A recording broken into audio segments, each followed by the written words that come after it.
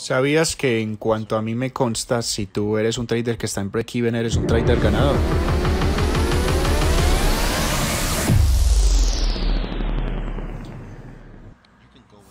Tú puedes entrar a unas aguas invertidas de tiburones, al mercado, el mercado financiero, donde tú te estás enfrentando en contra de algunas de las mentes más brillantes con billones de dólares y además una tecnología enorme que no quieren nada más excepto tomar tu vida de manera instantánea.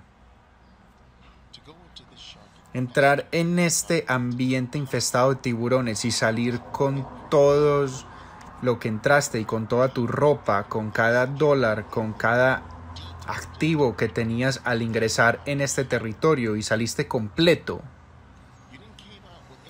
No saliste con nada más, pero saliste completo. Como que, oh, está de vuelta y está bien. Te ves genial. ¿Qué pasó? No fuiste asesinado, no, no tienes rasguños, nada te sucedió. Eres un ganador en cuanto a mí me consta.